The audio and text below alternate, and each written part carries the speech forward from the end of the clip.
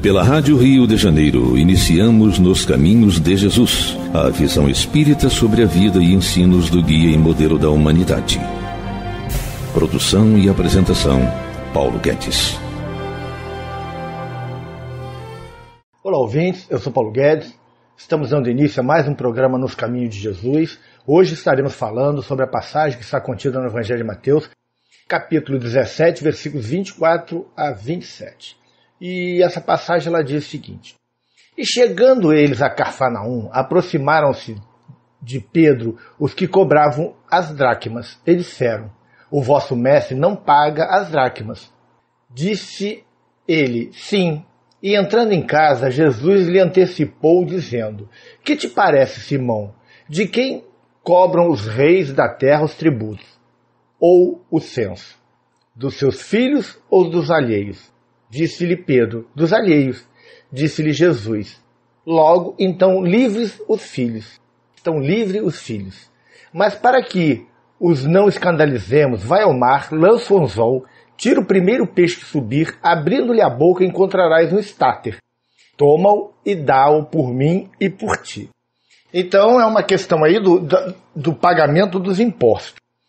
Nós temos aquela, aquela pergunta, né, se é lícito pagar o imposto a César, né? Que Jesus diz, dai a César o que é de César e a Deus o que é de Deus. E tem esta passagem onde ele, Jesus, está sendo cobrado, né? Eles se aproximaram de Pedro e dizem a, a, a Pedro, né? O vosso mestre não paga as, as dracmas? E aí, Jesus quando Pedro vai dentro da. Pedro diz que sim, que pagaria, é claro. E quando vai dentro da casa, Jesus já o antecipa, já tinha captado, né? Mais uma, a gente vê aí a, a capacidade do Cristo de captar, já havia captado a, a, a ansiedade de Pedro para falar sobre ele, sobre o tema, e responde a ele dando uma posição sobre isso e a gente vai estudar isso. Primeira palavra, a primeira coisa aqui, vamos ver a palavra-chave, que é dracma, que era uma moeda grega de prata ainda em uso no primeiro século da era cristã, conforme a gente vê em Lucas no capítulo 15, versículo 8 e 9. A dracma ática estampava a cabeça da deusa Atena num lado e uma coruja no outro. No tempo do ministério terrestre de Jesus, a dracma provavelmente já tinha seu peso reduzido para cerca de 3, 4 gramas, e assim seria hoje avaliada em, em, em, dólar, né? A gente tem uma avaliação aqui em torno de dólar, em 65 centavos de dólar. No primeiro século da era cristã, os gregos equiparavam a dracma ao denário, mas o governo romano calculava o valor oficial da dracma como de três quartos de um denário. Os judeus eles pagavam ah, ao templo um imposto anual de duas dracmas, uma de dracma, né? conforme está em Mateus no capítulo 17, versículo 24, que é o que nós estamos aqui estudando. A dracma grega de prata não deve ser confundida com a dracma de ouro, que é dar Quemon, das escrituras hebraicas, uma moeda geralmente equiparada ao dárico persa, que tinha 8,4 gramas, mais ou menos, e em dinheiro hoje, em dólar de hoje, daria 94,5 dólares, segundo os valores modernos. Então a gente vê isso e a gente já vai aqui entendendo essa questão da dracma. E tem uma outra palavra-chave que também está ligada à moeda, que é o starter.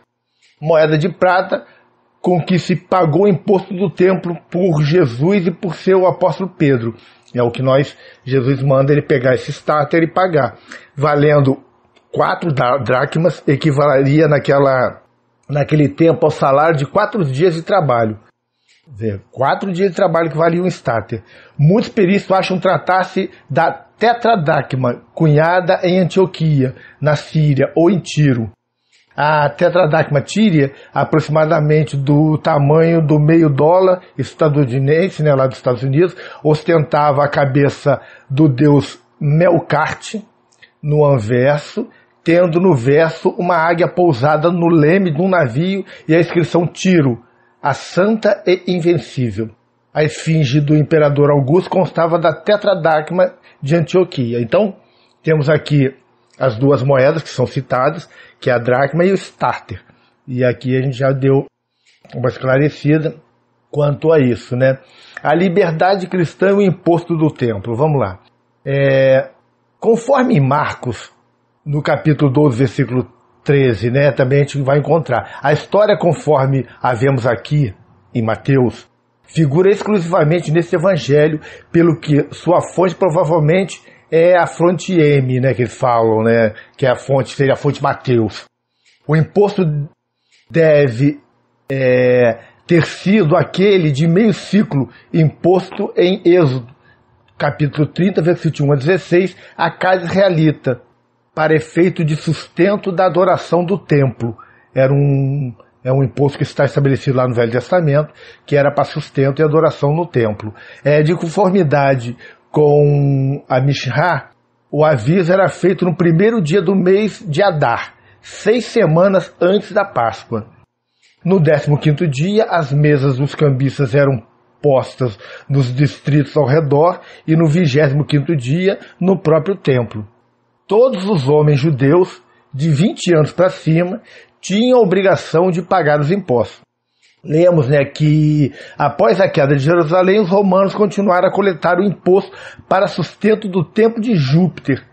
E alguns intérpretes acreditam que a inclusão da história em Mateus teve a finalidade de dar ao cristão instruções concernentes à atitude que o povo deveria ter para com esse imposto dos judeus.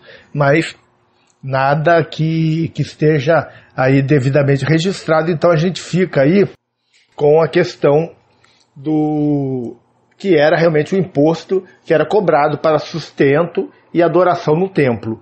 Porque, assim, o, o judeu ele recebia, ele, ele pagava o imposto que era estabelecido por Roma e pagava o imposto estabelecido pelos judeus, que era pelo templo. Então ele era bitributado. Ele recebia o imposto do jude, do, dos romanos, que eram os, os dominadores na época, que comandavam tudo, e eram explorados também pelos próprios judeus na questão do templo, que era um, imposto estabelecido. E aí tinha toda uma questão do câmbio, eram colocadas as mesas dos cambistas. Lembra que Jesus derruba essas mesas, dizendo que a, que a casa de Deus era uma casa de oração e não de comércio. Tem toda essa história aí. Apesar de outros textos também demonstrarem a responsabilidade de pagar imposto às autoridades civis, não sabemos se essa história aplicava-se ou não ao imposto requerido pelos romanos para sustento do seu templo pagão. Não tem nada que, que diga que tenha sido isso. A, a fonte informativa parece ter sido uma história relatada por Pedro. Essa história também não tem paralelo, mas a passagem de Marcos, capítulo 12, versículos de 13 e 17, ensina o mesmo princípio. Né? A gente tem. Somos responsáveis diante das autoridades civis.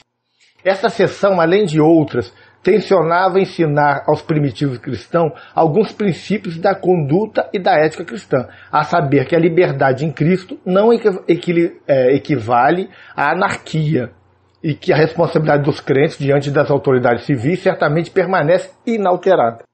Isso é bom a gente parar para pensar no que diz respeito aos impostos que nós pagamos. É, Jesus, naquela época, já estabelece que se existia, vamos pagar. Eu fico vendo muitas pessoas, inclusive espíritas, cristãos, que burlam o imposto de renda, por exemplo. Que pegam, colocam informações mentirosas, mudam dados do imposto de renda para pagar menos ao fisco ou para não pagar nada.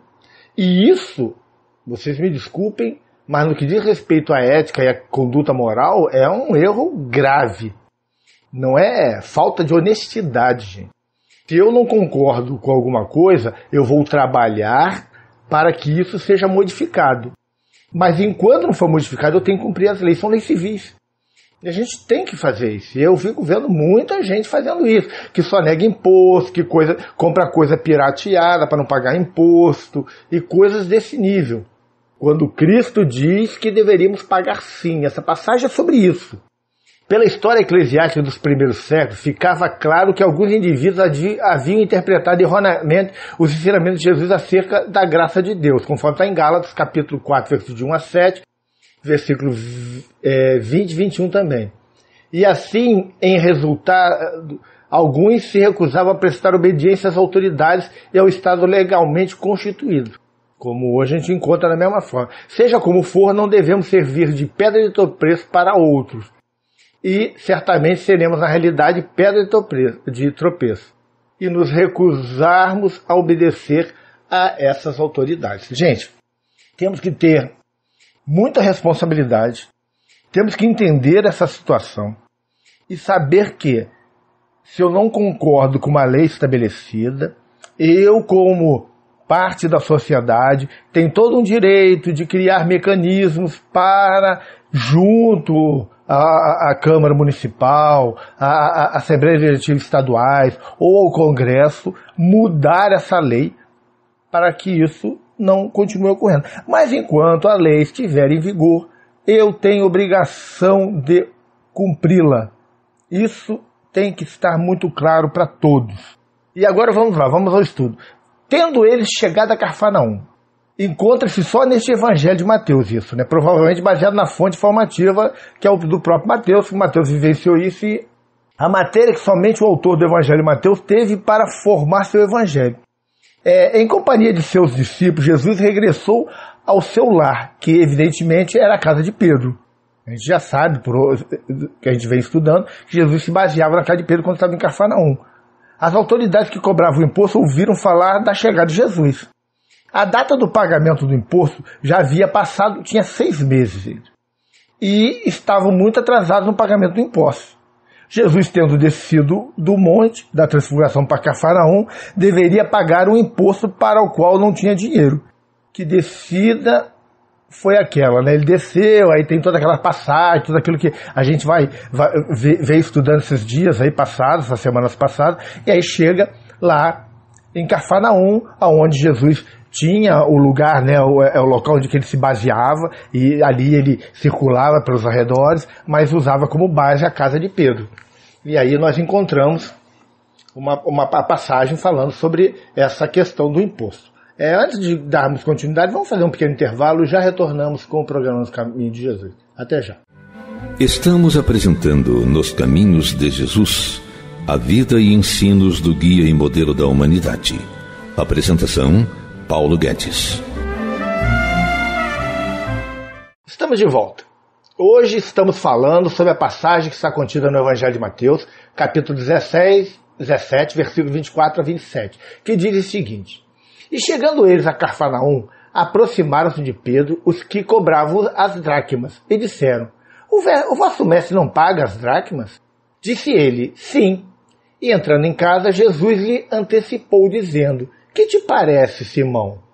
De quem cobram os reis da terra os tributos, ou o censo? Dos seus filhos ou dos alheios? Disse-lhe Pedro: Dos alheios. Disse-lhe Jesus: Logo então, livre os filhos estão livres os filhos. Mas para que não os não escandalizemos, vai ao mar, lança o anzol, tira o primeiro peixe que subir, abrindo-lhe a boca encontrarás um starter. Toma-o e dá-o por mim e por ti.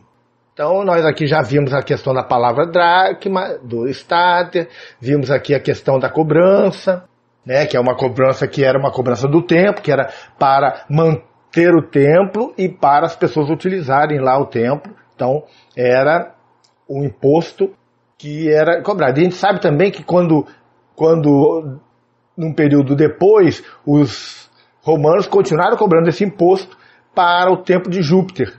E aí imaginam que não deve ter passado na cabeça dos judeus por causa disso. Né? Vamos continuando aqui. Tendo ele chegado a Carfanaum, né, o texto indica que Jesus tinha o costume de pagar impostos. Já deixa isso bem claro para gente. Aqueles impostos eram de duas dracmas, moeda grega usada pelos romanos. A lei judaica exigia que a moeda fosse trocada pelo dinheiro judaico, é o câmbio. Por isso que tinha as mesas dos cambistas. E no processo do câmbio, as autoridades religiosas exigiam certa comissão. É claro, sempre desvalorizavam o dinheiro e cobravam mais caro o dinheiro que era utilizado por eles. E aí desvalorizavam o dinheiro de quem estava trocando e a pessoa acabava pagando muito mais de imposto do que devia. Com essa taxa de comissão, ganhavam muito dinheiro. A data do pagamento era o mês de Adar, que é março. E assim Jesus e Pedro estavam realmente atrasados em seis meses. Que já deveríamos estar lá por setembro, outubro, né? Durante esse tempo, estiveram viajando pela Galileia. É, a gente vê pela, pelos estudos que nós estamos fazendo, Jesus teve aquela, aquela, aquele, aquela viagem pela Galileia, o imposto destinava-se ao templo, como nós já falamos, Jerusalém, era esperado, mas não exigido de todos os homens judeus de mais de 20 anos de idade. Assim, só se pagava quem tinha mais de 20 anos. Abaixo disso não era, a pessoa não era taxada, não era obrigada a pagar imposto. Era um imposto estabelecido, está em Êxodo, como a gente falou aqui no início, está é, tá estabelecido no Velho Testamento, então era uma obrigação de todo judeu pagar esse imposto. interessante é que quando é, Pedro foi abordado, né, que responde que Jesus pagava assim, que, Jesus, que ele entra na casa para falar com Jesus, Jesus já o antecipou e apresenta uma pequena parábola a fim de ilustrar a situação, mediante a qual declarou-se isento do imposto. Porque ele pergunta se de quem se cobra, né? Do, dos alheios ou dos filhos o imposto, né? Ele perguntou assim. Ah, dos alheios. Então os filhos, os filhos de, de Israel deveriam estar isentos. Então Jesus estaria isento também. Porque na qualidade do, de filho do pai real, do pai de Deus, né? A quem pertencia o templo. Não tinha obrigação nenhuma de pagar imposto relativo ao templo. É o que Jesus deixou claro, porque não deveríamos ser obrigados a pagar nada para seguirmos qualquer religião. Porque a religião, se o templo é destinado a Deus, somos isentos de pagar qualquer coisa. Por isso que a gente vê aí muitas religiões com passando sacolinha, estabelecendo cobranças. Isso, na verdade, não é o certo. Nós, nas instituições espíritas, nós fazemos. Existem os mantenedores, aquelas pessoas que, por livre, espontânea vontade, pagam alguma, alguma coisa mensal para manutenção da casa, mas por livre espontânea, não são obrigados a pagar. A pessoa não é obrigada, ah, não existe um dízimo, ah, é obrigada a pagar 10%. Não. Paga quem quiser e o que quiser. Existe, às vezes, as casas estabelecem um valor mínimo, que é muito barato, só para. E os trabalhadores que não podem pagar são sócios da instituição trabalhadores. Trabalham e são sócios do mesmo jeito, com direito a voto, dentro da casa e outras coisas. Vamos lá. É, quando, porém, Jesus aludiu estranhos, não indicou estrangeiros, como os gentios, mas o povo judaico em geral, que não fazia parte da família real governante. Os impostos dos reis não envolviam a família real, e sim e assim o imposto do tempo de seu pai não poderia ser cobrado de Jesus, que era um dos filhos de Deus. Alguns intérpretes pensam que Jesus realmente não fez questão acerca do pagamento do imposto, pois nem mostrou relutância em pagá-lo. Jesus foi e mandou pagar, gente. É lei civil, tem que ser feita. É por isso que eu, eu falei agora há pouco, na primeira parte do nosso programa, sobre essa questão de pessoas que só negam imposto. Isso não é a posição de um cristão. Burlar imposto de renda, é, comprar coisas piratas para não pagar imposto, isso não é certo, gente. Não é certo mesmo. Dessa forma, é, entretanto, né, preparou o caminho para falar aos discípulos acerca da humildade, que vai estar mais na frente no, no, no, em Mateus 18, versículo de 1 a 5. É mais provável, porém, que realmente Jesus tenha mostrado é, certa relutância em pagar tal imposto em primeiro lugar, porque não possuía o dinheiro, em segundo lugar, porque não o considerava justo. Pagar imposto dentro de religião ele não achava justo. Duas dracmas não representavam muito dinheiro em nossos dias. Mas lemos que no ano de 300 a.C., a dracma comprava uma ovelha. Só para vocês verem o valor que era na época. Mesmo considerando a desvalorização da dracma antes do tempo de Jesus, nos seus, eh, nos seus dias, né, duas dessas moedas representavam para qualquer homem pobre uma boa quantia. A pessoa era obrigada a pagar, os pobres tinham que pagar, né? Outro, é, entre os próprios judeus que odiava a cobrança dos impostos, não havia sido ainda definitivamente resolvido se era legal exigir imposto do povo judaico. Jesus diz que não é justo, mas, como era estabelecido, se pague. Para a mentalidade oriental, os impostos geravam a subjugação. Olha só como é que as coisas funcionavam. A cobrança escrochante de impostos é que levaram o povo a se rebelar nos dias de Roboão. A gente pode ver isso lá em 1 Reis, no capítulo 2, versículo 4, que teve uma, uma rebelião por causa da questão de pagamentos de impostos.